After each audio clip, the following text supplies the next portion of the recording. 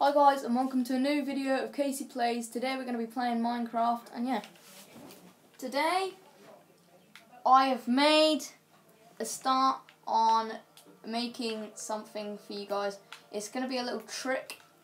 Um, this isn't going to be an extremely long video. I am going to make some more survival videos for uh, Minecraft and this is just a little trick that I learned off the internet just to show to you all guys. Um, just in case you just want to learn it. And yeah, it's a pretty cool trick, I think. But I've just got to clear all of this and get the sheep out of the way, so I'll be back in a minute. Now we need to fill water. Now we have water. Okay, now what we do... Yeah, okay. Now what we do is we go more or less to the middle. I don't know if you can see that very well, but what we do, I'm just going to be commentating so you yeah, we remove one block and add Netherrack. You then remove one, two, three, four, the blocks around it. Then you need a block of ice, one and then two up. It, this, the first block can be whatever you want, but I just used ice to save time. This is, like, the top one has to be ice. Then what you do is get some more Netherrack. You put some on the sides like so. You put them on the sides, so, I mean, just if you can't see, there's the two blocks, um, then you have one on each side. So you have one here, here, here, and here.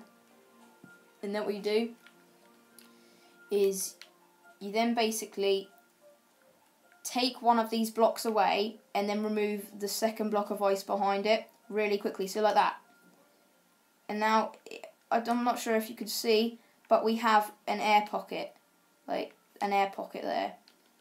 So what I'm not going to do is I'm just going to destroy these four holes, but you have to keep the holes in the ground. So this one, this one, this one. You need to keep the holes, otherwise it will not work.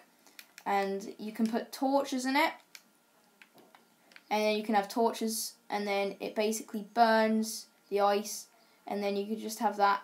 And but because it's a torch, it will be going forever. But my favourite one is. I'll be back in a minute. Let me just get it back set up. My favourite one is basically where you take them away because this one will be going and it's like forever because there's Netherrack at the bottom and it's a lot more effective and cool. You just basically put fire there.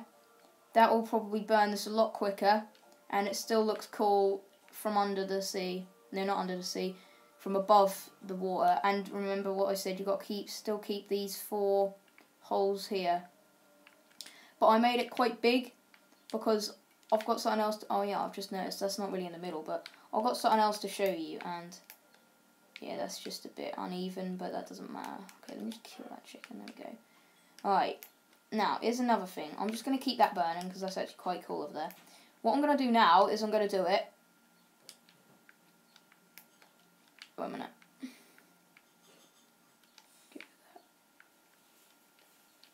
Wait a minute, why is it not working? Oh yeah, it's because I was doing it with a sword. Okay.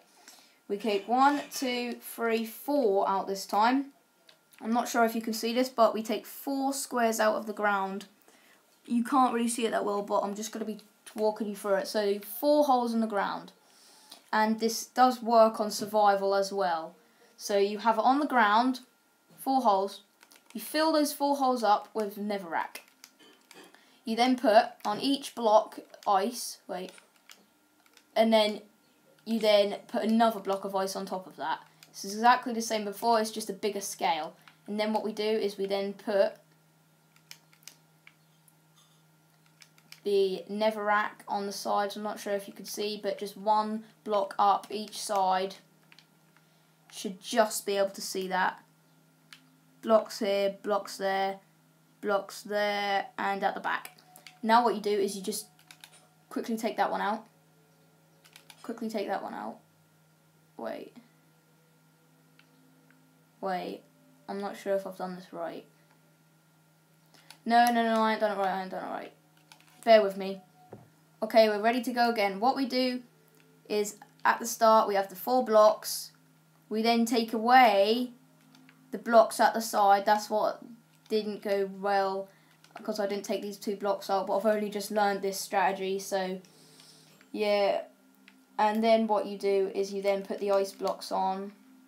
Remember, you put two, two high. And then what you do is you then do the same thing. You put the Netherrack on the sides, if you can see that. One block high from the holes. And then again, this is where it went wrong, but hopefully this will go right this time. Then quickly take these out. So then take that one out. Take that out. Take that out. Take that out. And then what we're left with is that. I don't want to remake this. I'm just it, it does work with torches and fire, but I'm just going to do the one with fire because that's a lot cooler. And they're all never it's going to be going for a long time, but make sure to keep these holes in. Make sure to keep these holes in. And again, once the ice is broken, or um, once the ice is melted, I don't know why that's gone.